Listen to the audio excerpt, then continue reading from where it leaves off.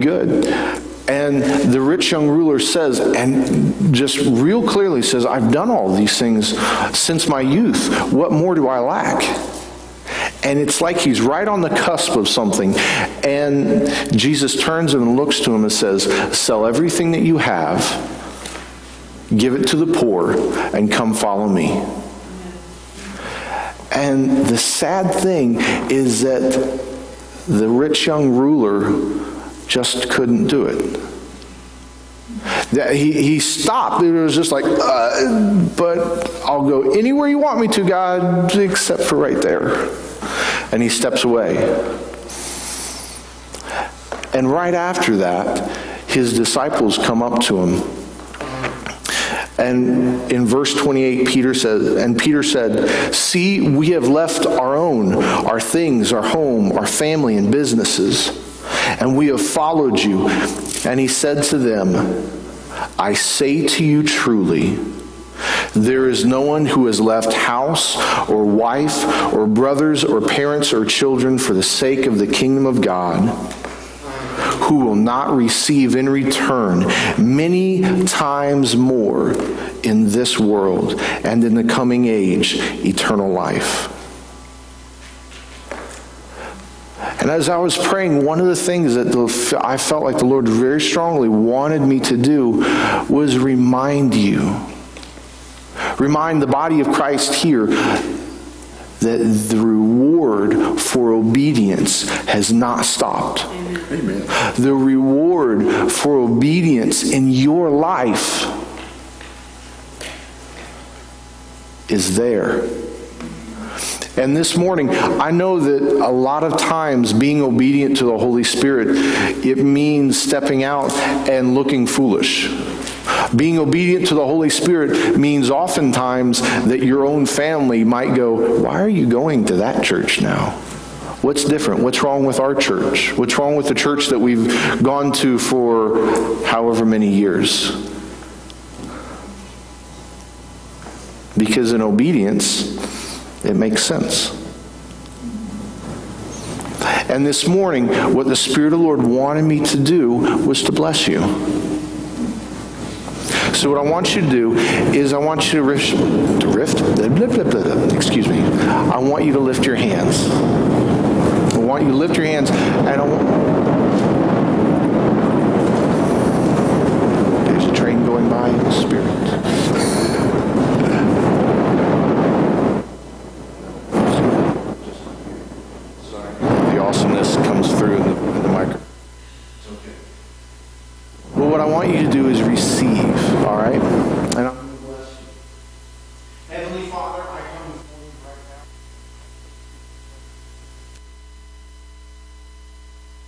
Lord, you said in your word that those who were obedient to you, that had left things, that had forsaken what was comfortable, Father God, that you would bless them exceedingly abundantly, that you would give them uh, even many more times what they had left. So, Father God, I speak right now to every single person that's within the sound of my voice, and I speak the blessing of heaven in their life. I command the blessing in Jesus' name. Where there has been, uh, where there has been where there has been hurt, I thank you for healing. Where there has been rejection, I thank you for turning it around. Where there have been relationships, Lord, that have been strained, I thank you right now, even today. Lord, that you're turning them around, that you're bringing reconciliation into those lives. Lord, I thank you that it's not by might, it's not by power, but it's by your Spirit. In the name of Jesus. I thank you for filling them with the knowledge of your power and that you would bring forth the blessing of obedience in their lives today. In Jesus' name, amen. All right. Well, that was the free part. Now the rest you got to pay. You got to buy a ticket. Uh, if you will, fill out. Don't. okay. So I promised that we'd get back to our, our our pieces of paper. All right. And I've got to pull out my phone because this is a timed event. All right? I know. Yeah, that, that's. I, I could blame this on my professors, not that they've ever done it, but you know, they're, they're teachers. You, there's things that you get to blame on teachers. My wife is going to hurt me later too. Okay, so what I'm going to do, or what I want you to do, is I'm going to give you three minutes. And I want you to take your piece of paper and I want you to describe God. Who is the God that you serve? It, doesn't have to be what anybody else thinks. No one in the world has to ever read this. But what I want you to do, and those of you who are writing are starting early and you're going to get penalized. I'm kidding, I'm kidding. um, what I want you to do is who do you serve? Write it out. And go.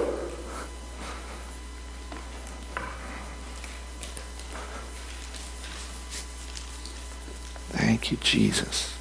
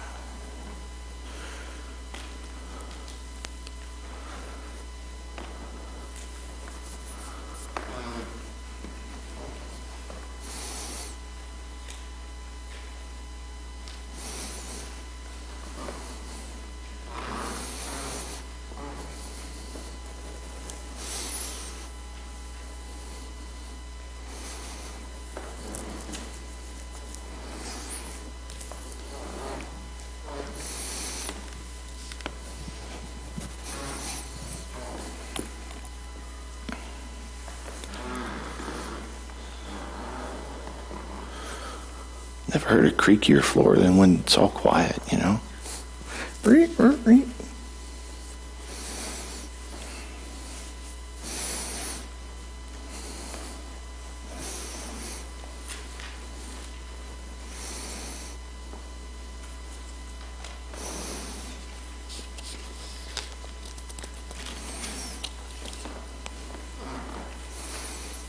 Okay.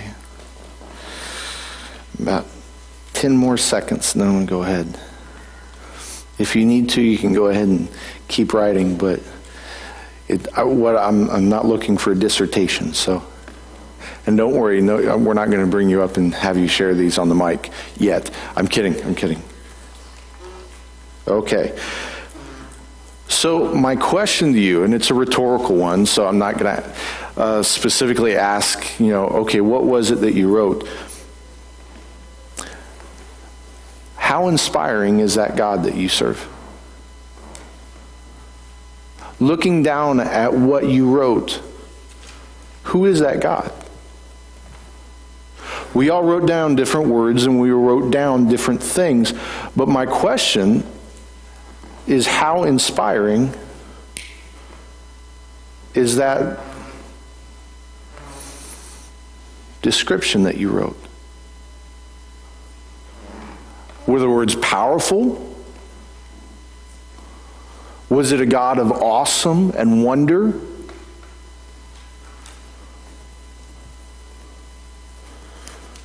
Was it vague? Was it passive?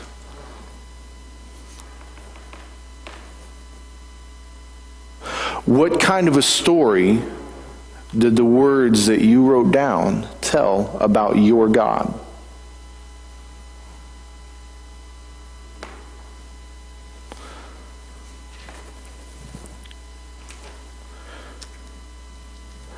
Your description this morning is an indicator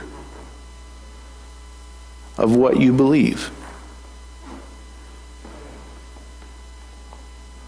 I tell you what, let's just, without getting super specific, what are some of the things that uh, you wrote down?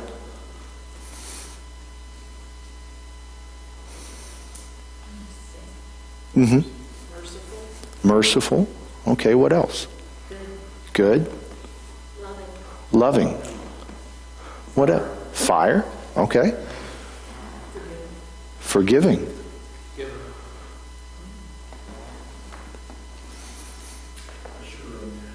Assuring, absolutely.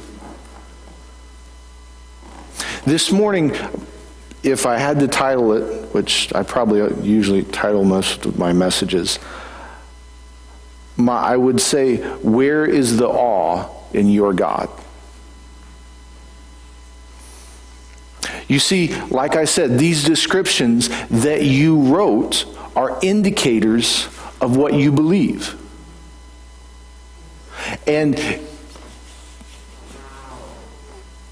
it's interesting to me that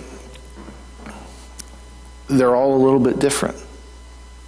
And I like that because God's a multifaceted God. Matter of fact, uh, the book of Revelations talks about uh, heaven and it gives a description, and there's all of these people around the throne and God's sitting on his throne in heaven. And every time, the, and that there's all of these people and they bow down. They bow down and they come up and they look at God and they see something brand new that they've never seen before, and automatically it, sa- it says it's so majestic, it's so glorious that they, that they bow down immediately and say, Holy, holy, holy is the Lord God Almighty.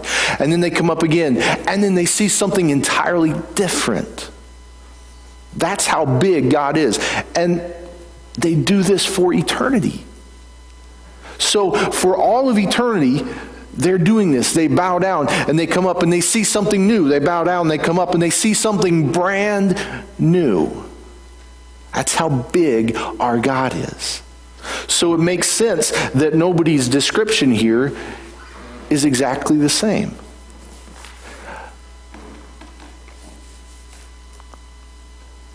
But what I want to ask you is where is the awe? When you wrote down the, that description, was it hard to kind of pin it down? In some ways, yeah. It can be difficult to say, well, this is who God is. Matter of fact, it's very often that we find that description of who we think God is, who we would say, yeah, this is God it's a little bit off from what's in the Bible.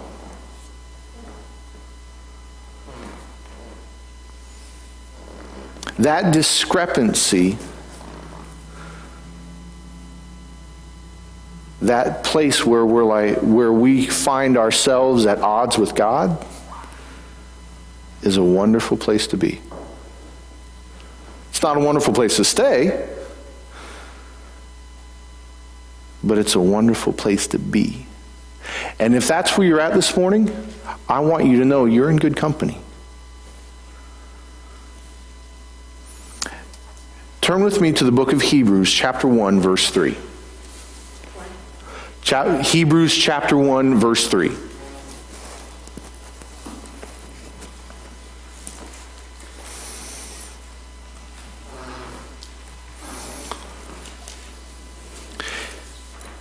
If you're there, say amen. If not, say oh me.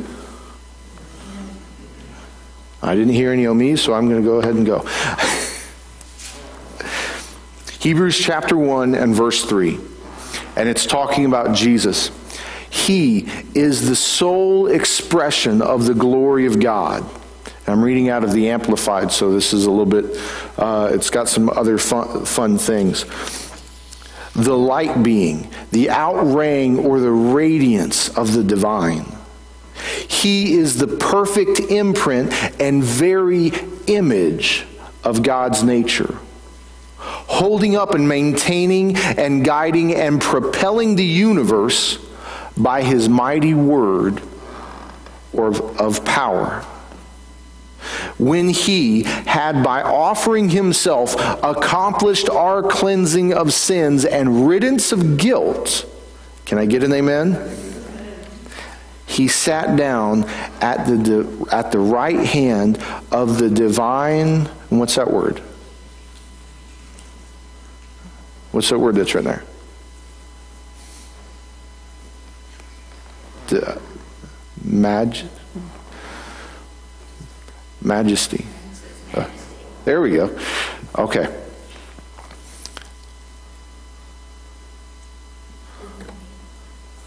Hmm? Okay, never mind. Okay, the, of the divine majesty on high. You know, it's interesting to me that of all the words that could be used to say that Jesus came up and sit down and sat down at the right hand of God, he doesn't use God the Father.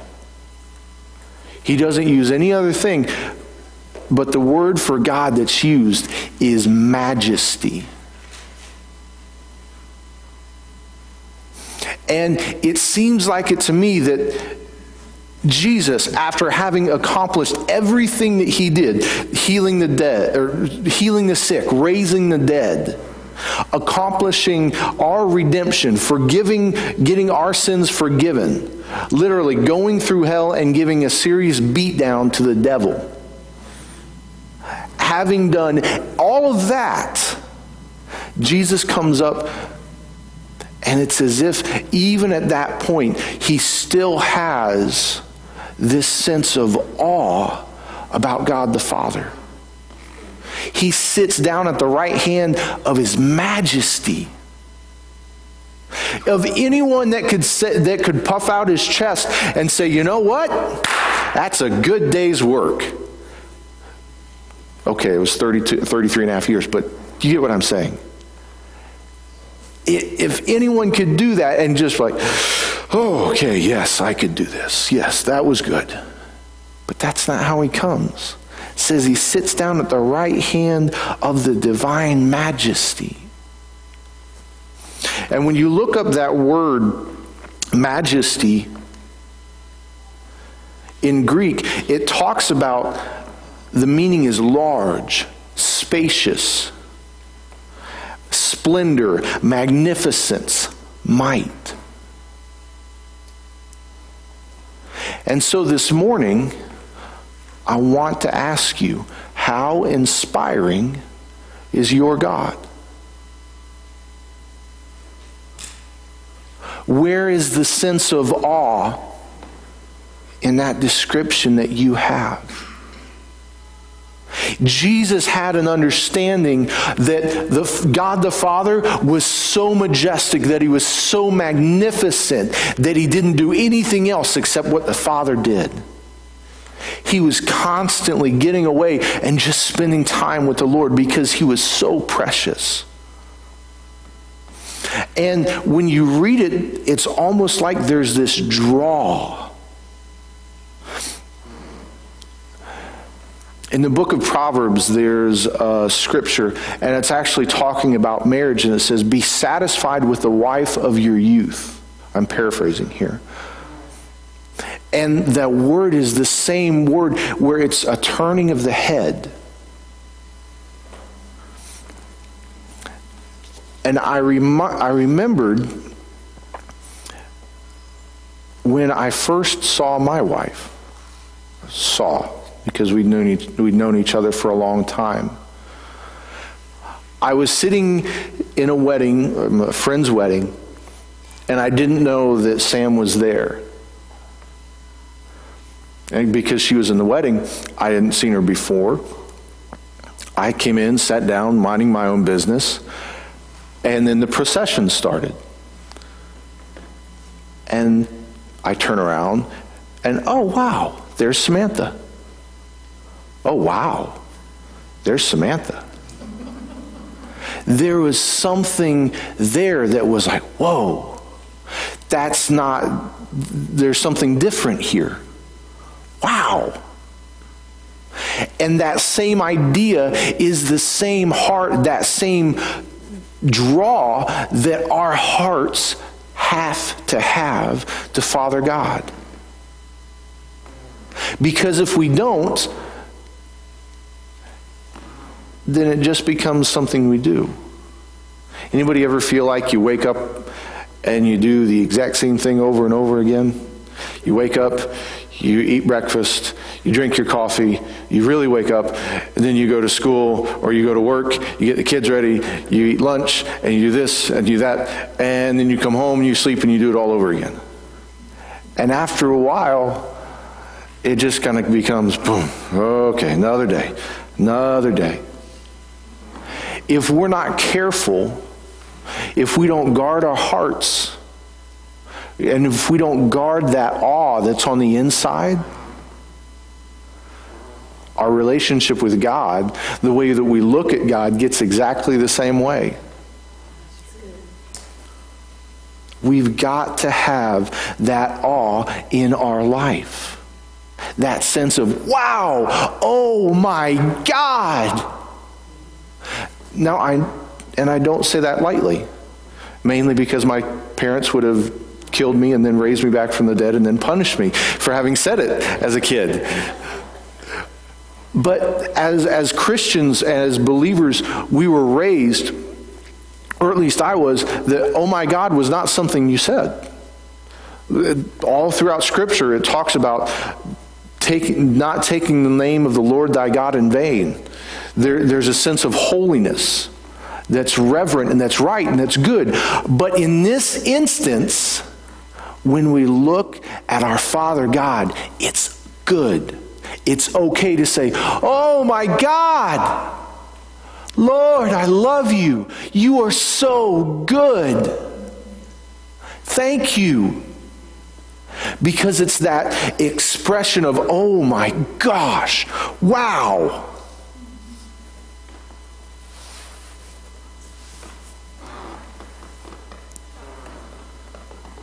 So, how do I get reconciled? How do I get that sense of awe back in my heart? And you know what? The interesting thing, the way when I was thinking about it, it's kind of like an alignment. Recently, I had to replace one of the ball joints on my car because, uh, for whatever reason, it decided it needed to go out. So sure enough, uh, instead of paying the $400 uh, for three bolts and a, and a quick little floop, floop, floop, um, don't ask me to spell that. It was, uh, I went out with, went over to a friend of mine's, we got it. Mike helped me and he was, we, we, were on, yeah, we were on our way. But it was interesting because from time to time, just like our cars, we need a spiritual alignment. And like I was saying before, when we come to that place where we look at something and we see God and we see where we are and there's a discrepancy, that is a great place to be. Now, whether or not it's beneficial to you is determined by what you do with it. Because you can see, oh, wait, I need to change, and then do nothing, and it will not help you. And the problem will only get worse, and it will only keep, and you'll keep running into the same or worse conditions. Just like a car, every so often you have to take it in and get it aligned, right? Because the manufacturers know when you're driving down the road, what are you going to do? You're going to hit potholes. You're going to run over curbs. You're going to get on the sidewalk and mow somebody down. Oh, no, uh, sorry. Uh, if anybody asks, I did not do that. Self implication is really, really bad, I know. But they know there's going to be things in our lives, in our driving, where we're going to have to get something corrected. And our spiritual lives are no different. There's going to be times where we have to look at God and we look at ourselves and it's not right. And if you add one more thing to that, the knowledge of how to do it, you know what you call that? Revelation. Revelation is simply this seeing God, seeing ourselves, and knowing what to do to reconcile them. And the reconciliation will always be us going to God. It will never be God coming to us, just so you know. Proverbs 12:1 says, "Whoever loves instruction and correction, which is what an alignment is, it's a correction, loves knowledge, but he who hates reproof is like a brute Okay, let's not read the rest of it. Is like a brute beast, stupid and indiscriminating. Whoa, okay, God, uh, can you not be so blunt? That's like really intense. Because just by a show of hands, who here likes being corrected? Okay, if there's any hands, we're going to pray for you later because there's some. Uh, but I'm joking. The idea is this somehow in our hearts, we've got this thing that's of, that we shy away from correction. We shy away from when someone goes, you know what, here's what's going on. Because on the inside of us, it's like there's this thing. If you're, if you're going in the store and you pick up a, an apple and it's got some issues with it, what do you do? You put it back. If you're looking through clothes and there's a, something that's wrong with the garment, what do you do? You don't buy it, right? Somehow we've got this idea that that's how the Lord does us. And somehow we've got this idea that that's how we're supposed to treat other people.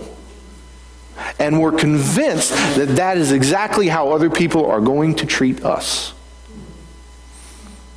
And it's usually from experience. But I have got good news for you today. That's not what God does. That's not who God is. God built you with correction in mind.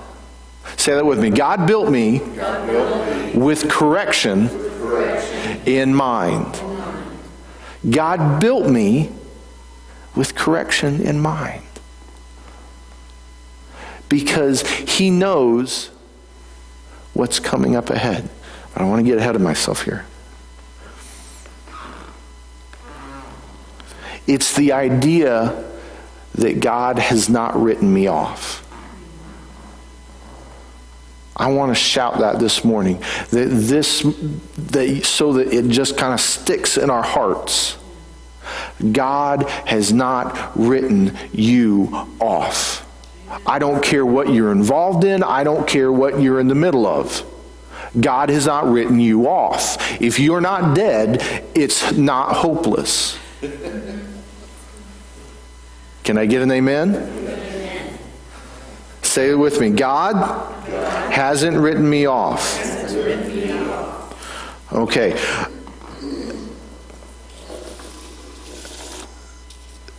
In the same mindset, though, we don't want to lose sight of the fact that, wait a second, there's some correction in our life that has to come. We don't want to lose sight of the fact that, wait a second, there's God, here's me, uh, and we're a little off.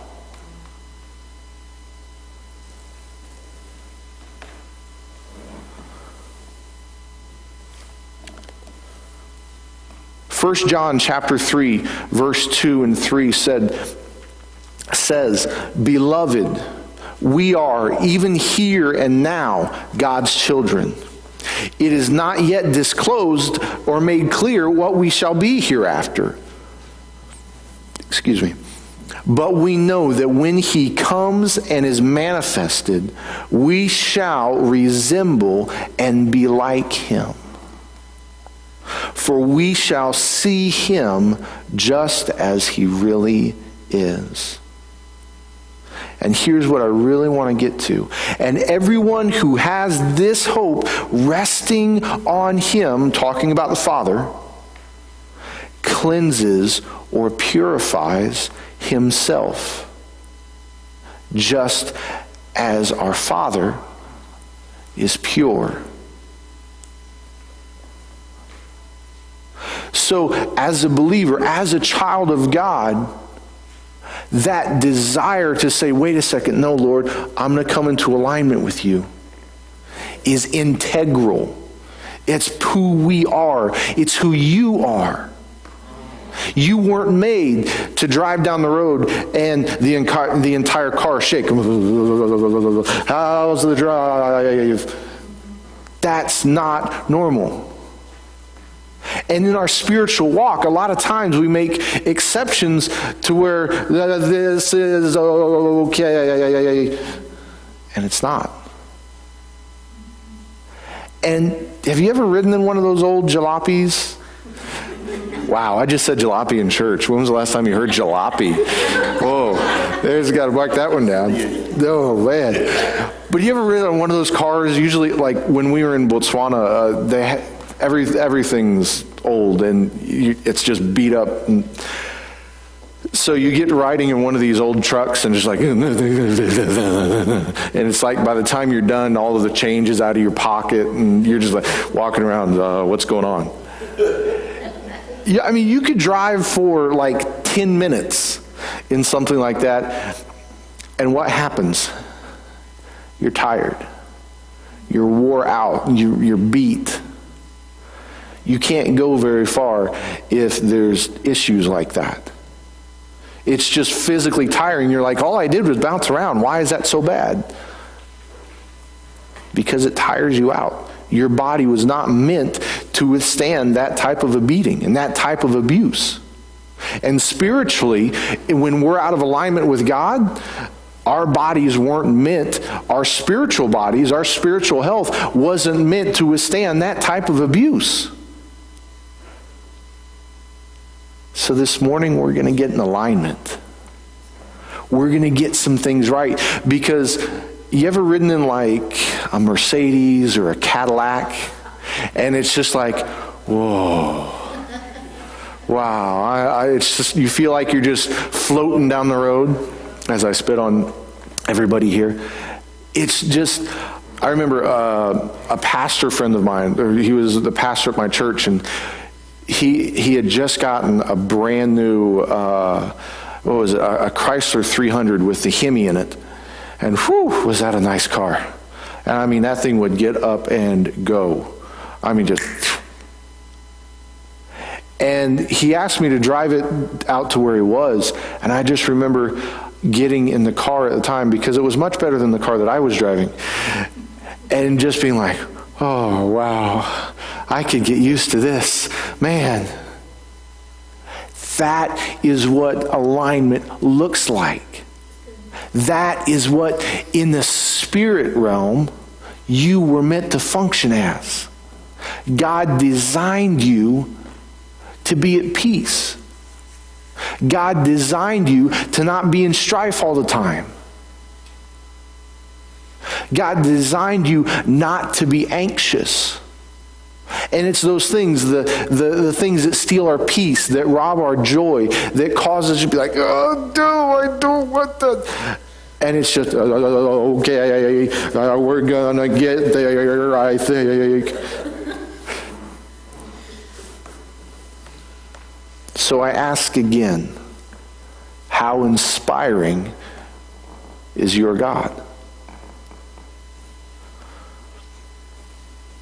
Does the God that you described, that you wrote down about, does it match the God of the Bible? Turn with me, if you will, to Isaiah chapter 6, verse 1. Now, remember, I said if you're in that place where you're looking at God and saying, wait a second, there's God, here am I, and this is where I am, it's a little off. You're in good company. We're going to read about it. If you're there, say amen. If not, say oh me. Amen. I don't hear any oh me's. So, and I'm reading out of the NASB, so it's not quite as wordy. Quite. In the year of King Uzziah's death, I saw the Lord sitting on a throne, lofty and exalted, with the train of his robe filling the temple. Seraphim stood above, stood above him, each having six wings. With two he covered his face, with two he covered his feet, and with two he flew. And one called out to another and said, Holy, holy, holy is the Lord of hosts. The whole earth is full of his glory. And the foundations of the threshold trembled at the voice of him who called out, while the temple was filling with smoke. And then I said, Woe is me! Because I'm sure it was probably a little bit worse than that. For I am ruined, because I am a man of unclean lips, and I live among a people of unclean lips, and my eyes have seen the King, the Lord of hosts. Let's pause for a second. See, Isaiah gets revelation at that point in time. God shows him heaven.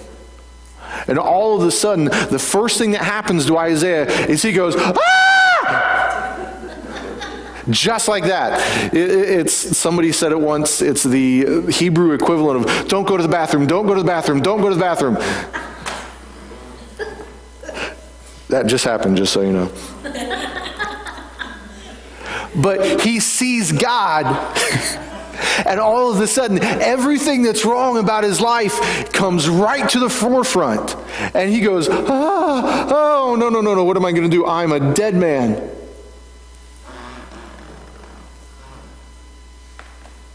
And then the next thing that happens is so awesome. Because that's exactly the, way we feel. When we see God and all of a sudden things aren't right, what's the first thing that we want to do? Oh, no, no, let's go somewhere else. And we turn and it's like we want to run. But if we'll stay and we'll listen and we'll be obedient, listen to what happens. Then one of the seraphim flew to me with a burning coal in his hand. And I want to stop for a second because I need to explain. Seraphim are angels. What are angels? Angels are messengers and they are workers of the will and the word of God. Angels don't do anything except the Lord tells them go do that. So when he says, then one of the seraphim flew to me with a burning coal in his hand, it's not because somebody looked down and said, oh, poor, poor Isaiah, he's going to soil his britches. It's not because anyone took pity on him. It's because the Lord saw and said, I've seen where you're at and I've got something prepared for you. I've seen where you are. I know what's going on in your heart. I've heard the cry. Speak of the sunshine. And I have something prepared. And he says, It flew to me with a burning coal in his hand, which he had taken from the altar with tongs.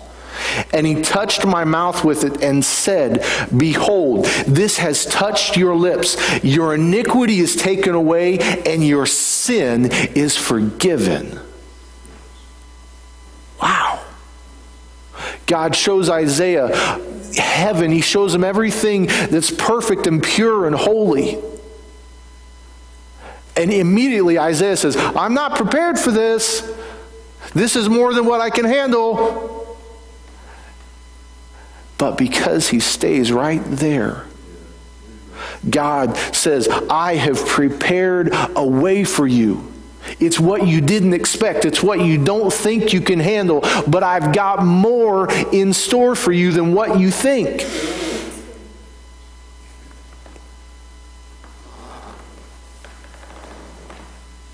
Isaiah is given revelation. What is revelation? It's seeing who God is, who we, where we are, and what we need to do to change those so that we're in line with God.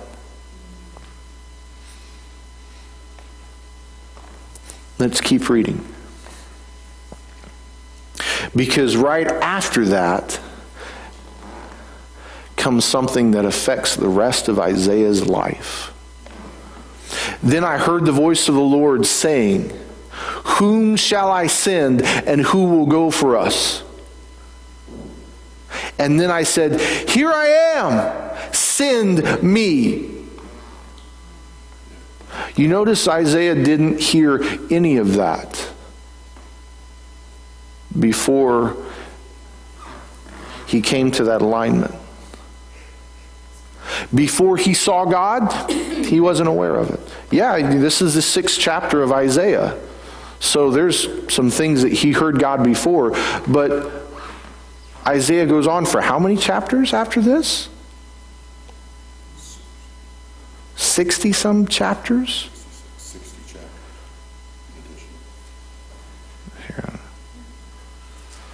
66. The very thing that scared the mess out of Isaiah was what the Lord was using to bring him into the next season of his life. The very thing that God was using to I don't, I don't know exactly what word to use, motivate, that caused that pressure in his life that brought him to the point of, oh, what am I going to do? Was exactly what God was using. And he met him there. And because he was obedient, Isaiah becomes the preeminent prophet of the Old Testament. I mean, what, who is the, mo- the most powerful prophet in all of the Old Testament? I mean, we could have arguments here, but Isaiah's got 66 chapters. He was the one that gets to prophesy about the coming Messiah. He gets to see Jesus coming 400 years before. He gets a glimpse of the redemption that's going to happen. because he was obedient when it didn't look like what it was like, like he could he, he didn't think he could do it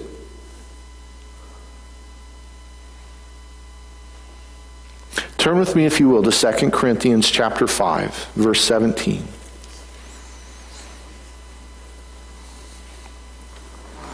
I take that back, excuse me.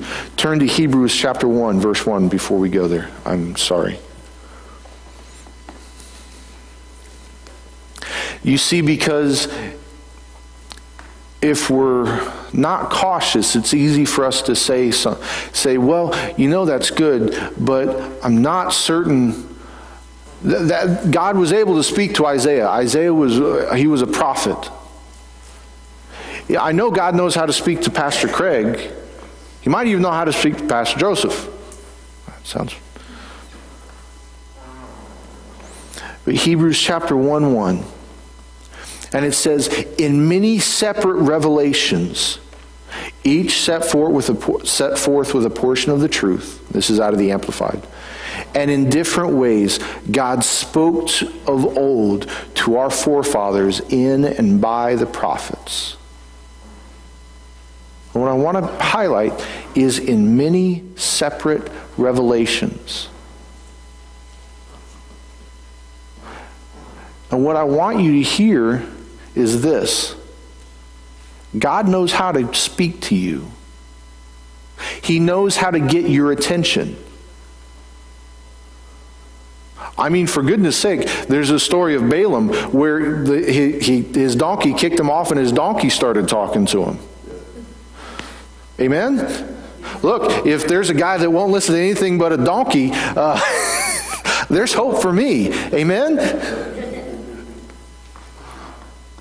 Because sometimes it feels like that. It feels like, oh, I'm on the backside of wherever and nothing is nothing is going on. I don't understand what you're doing, God. This is uncomfortable. And God says, I know. But don't worry, it's going to get better. God knows how to speak to you. He is not short. the Bible says his hand is not short.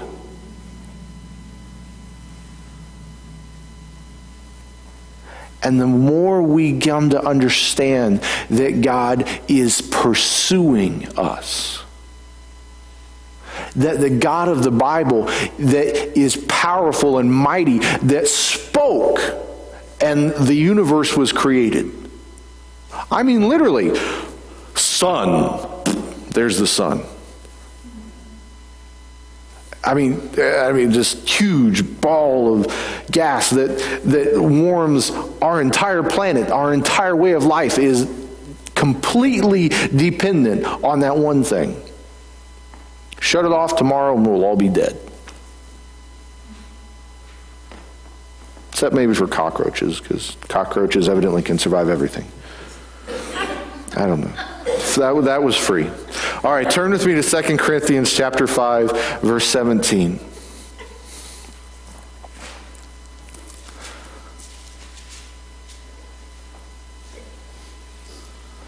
Because here's what I want you to see. When we come into alignment, this is what happens. 2 Corinthians, 2 Corinthians chapter 5, verse 17. Therefore, if anyone is in Christ, he is a what?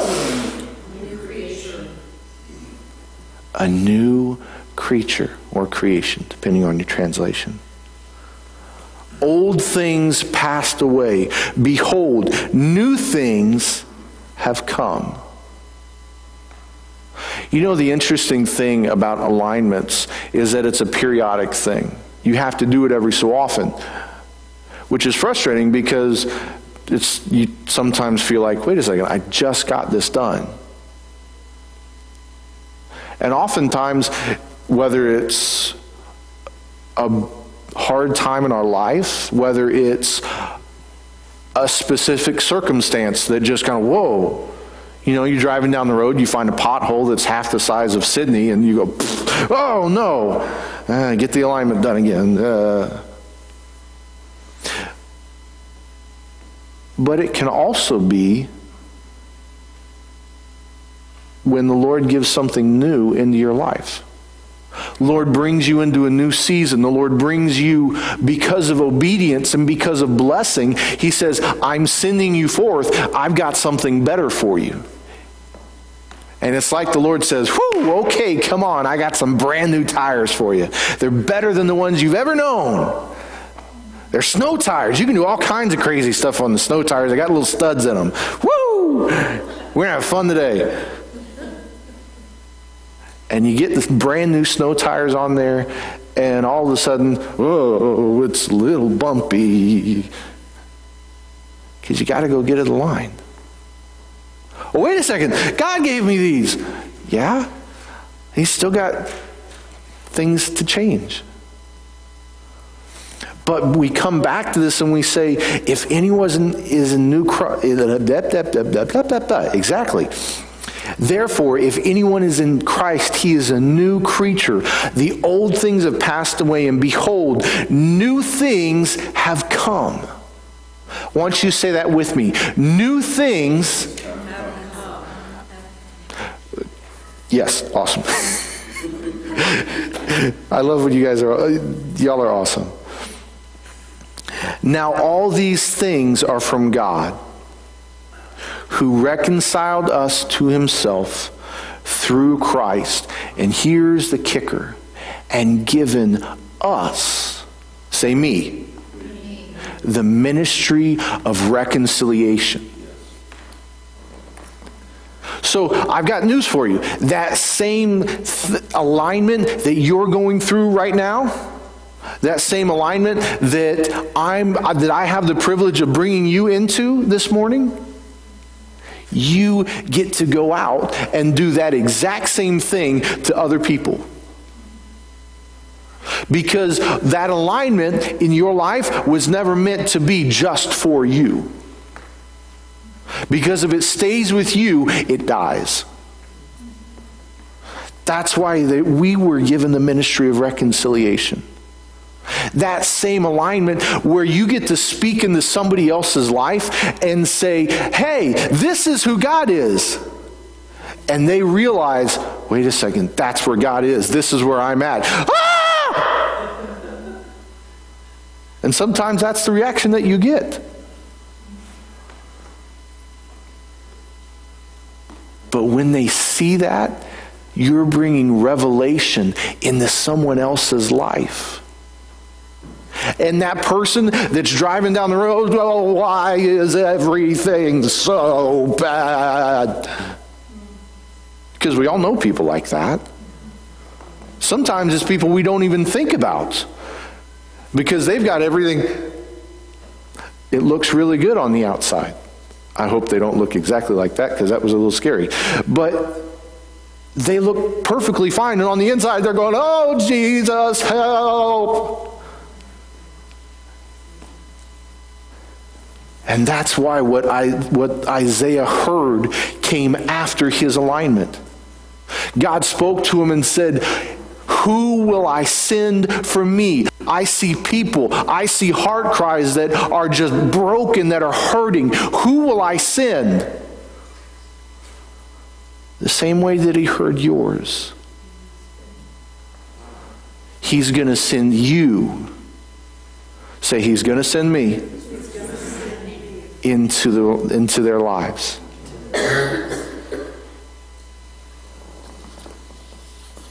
So, this morning, what the Lord wants you to hear is this look up.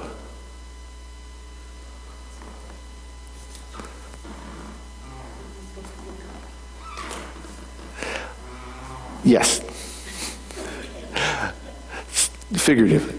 But I love, I love that. Thank you. Look up. I want you to hear this. In the book of Habakkuk,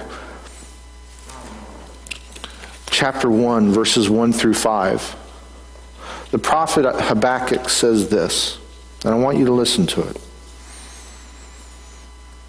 Habakkuk, the oracle that Habakkuk the prophet saw. O Lord, how long shall I cry for help, and you will not hear? Or cry to you violence, and you do not save? Why do you make me see iniquity? Why do you idly look at wrong? Destruction and violence are before me. Strife and, and contention arise. So the law is paralyzed, and justice never goes forth. For the wicked surround the righteous, so justice goes forth perverted. Habakkuk is looking around in his, in his life. He's looking around, and everything around him looks twisted. It looks like the righteous are the ones that are in the dumps, and the wicked are the ones that are prospering. And he's crying out to God and said, Hey, God, what's up? And then I want you to hear God's response because this is what the Lord is saying to us this morning. Look among the nations and see. Wonder and be astounded. For I am going to do a work, or excuse me, for I am doing a work in your days that you would not believe it if told. Habakkuk 1, verses 1 through 5. This morning, what the Lord wants you to hear, if you hear nothing else, is look up. Because what the Lord has in store for us is so good that it's mind blowing. And that's why it's so important to stand and protect, and in some cases, reclaim that sense of awe in our hearts. Isaiah wasn't ready before he got his alignment. He couldn't hear, he couldn't handle what the Lord had for him because he was out of alignment. And that's why alignment, that's why getting our hearts in tune with where the Lord is and saying, okay, Lord, you are amazing. You are awesome. And having that sense of awe that turns our head, that makes us go, wow, God, you're so good.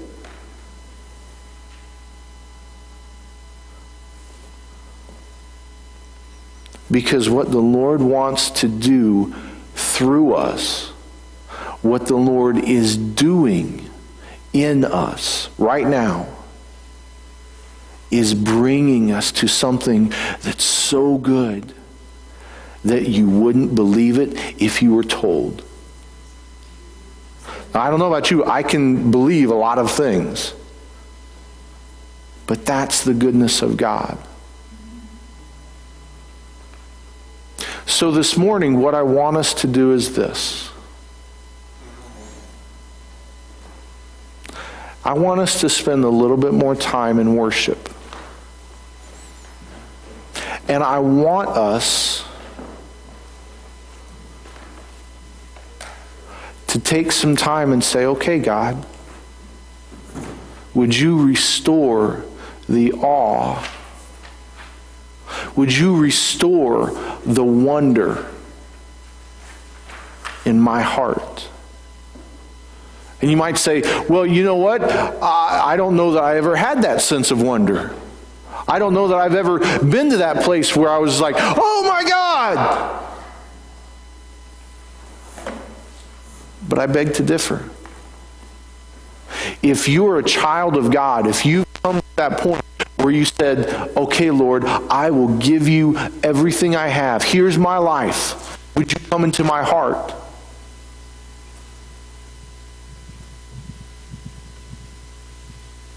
If you've made that decision, then at some point in time, you looked at God and said, There's something greater that you have that I need.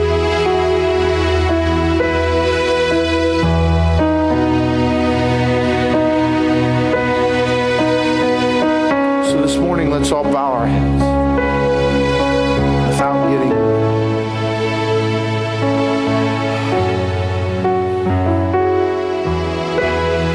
And I just want you to ask Him. The Holy Spirit is here, and He's brought you here for a reason because He wanted to speak to you. He's got things He wants to love on you. Simply you restore the awe in my heart?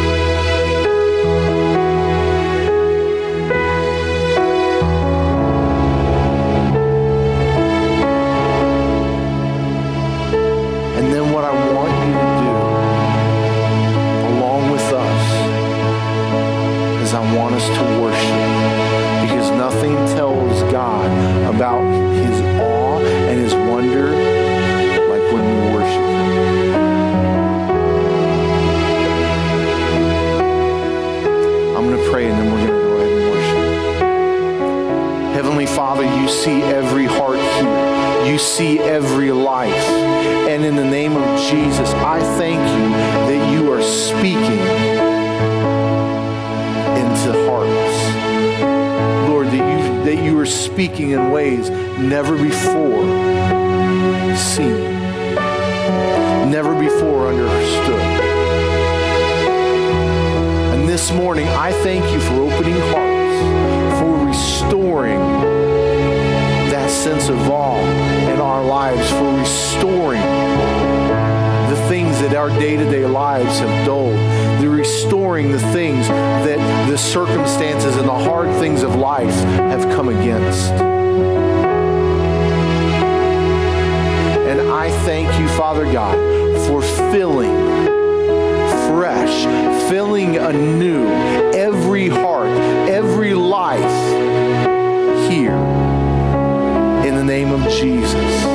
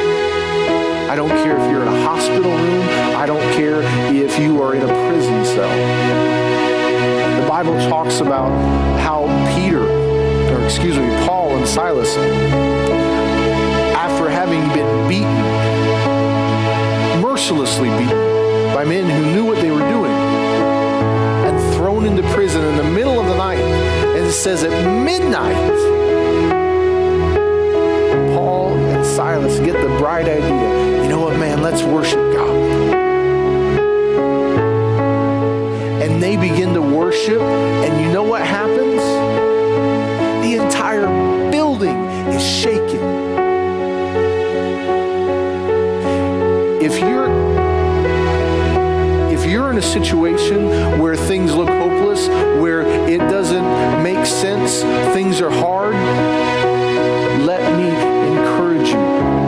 Worship the Lord. It might not look like anything is going to change. It might not look like everything, it might look like everything is going to stay exactly the same. But I promise you, from the moment you start to worship, things are changing. This week, I want to encourage you. You don't have to make this big, loud, I love you, Lord, on the middle of your work site, unless you really want to. People will look at you, and that's okay. You're glorifying God. But sometimes it's just as simple as just singing to yourself. So I shout